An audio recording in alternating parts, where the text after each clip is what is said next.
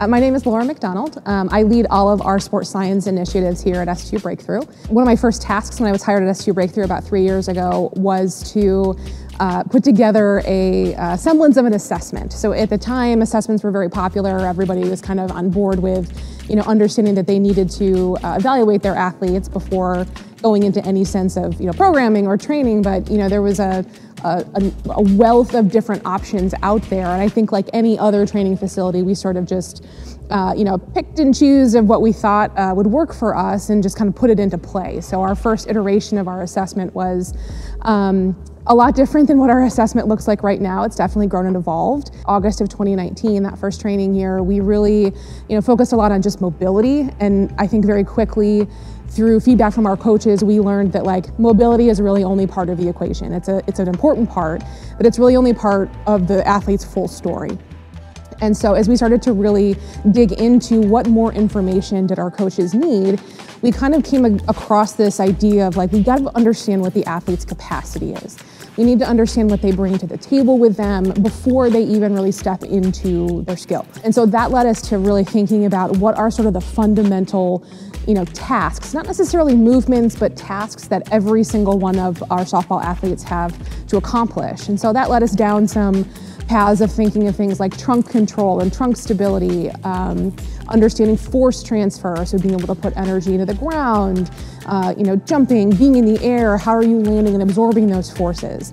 And we kind of just took that uh, base and worked our way back into a selection of exercises that gave us an understanding of where does the athlete break down? Are they breaking down on the ground? Are they breaking down in the air? And then we can start to answer that question as really as to why are they breaking down. That first version of our assessment was uh, it was pretty intense. It had a number of exercises in there. Um, it did not at the time include any power assessment, which we know now is a really important piece of our puzzle. Um, so we took that assessment on the road to a couple colleges and we implemented it in house. And I think we learned really quickly that uh, that was a good start, but it was not something that was probably going to persist. Um, we really needed to scale back some things, uh, mostly because it was just too long. Fatigue was starting to get to be an issue, and we really realized that you know there needed to be um, really more attention paid to the efficiency of the assessment.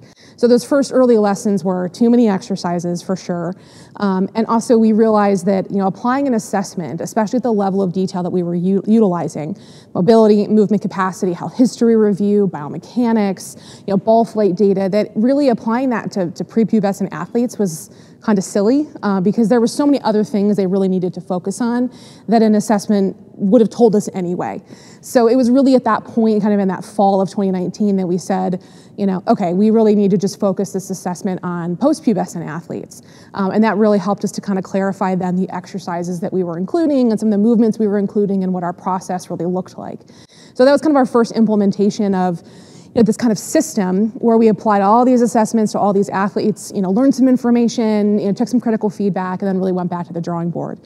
Uh, and then I think obviously for you know for the majority of people in this world, 2020 was kind of a mess. Um, but it did give us an opportunity to really think about the the lessons we learned from those iterations of our assessment. We had you know probably 100 athletes through that original assessment, and we went back to the drawing board a little bit. So we, we kind of looked at you know, what worked, what didn't work, what matches what we're seeing on the strength floor, what holes does our assessment still have that uh, is not answering something for our coaches. So we took the opportunity as we you know, all had to kind of step away from being together in the spring of 20 uh, to think about our assessment and to think like okay what is our next version we want to implement and then we come back to our new training year in august 2020 what does that look like and that version really just, like I said, eliminated a lot of exercises. It, we added the power element to it, so using some med ball throws and vertical jumps and sprint times.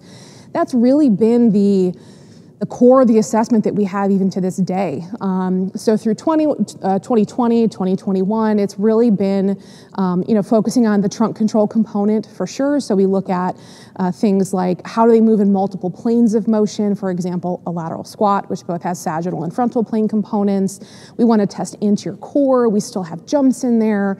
But what our assessment really still does for us is tell us essentially where does the athlete break down. The power element was a really important piece to add because it, it let us understand how does an athlete express her mobility and what we call movement capacity.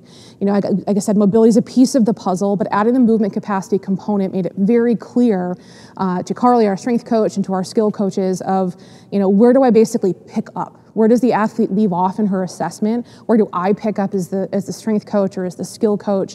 Um, and you know, what am I trying to essentially uh, you know help her to bring to her softball skills?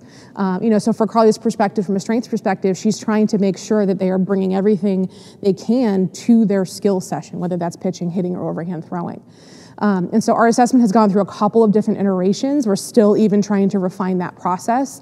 Uh, the, the, revisions are a lot mi more minor now, and obviously not as uh, intense as the first overhaul we had. We feel pretty good about it where it's at right now, but the, um, the most important thing is that it tells a story. It provides a baseline for all of our athletes.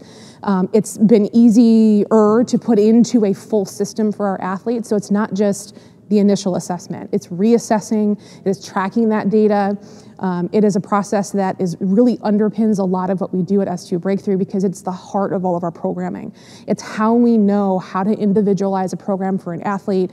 It's how we track her progress uh, to make sure that you know her commitment to training, to make sure that our commitment to the programming, that those are meeting in the middle and they're meeting her needs.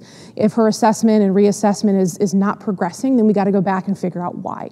So it's given us a, a great opportunity to really track athlete progress, to show them progress, even if maybe the performance metrics aren't quite coming along yet, she still can make some gains in, in improving her mobility, improving movement capacity, improving power.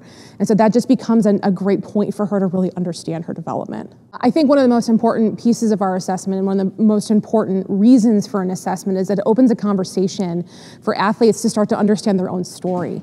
Uh, something we run into all the time is, you know, an athlete will sit down with us for her initial assessment. They maybe have found us through social media or the internet or a friend of a friend.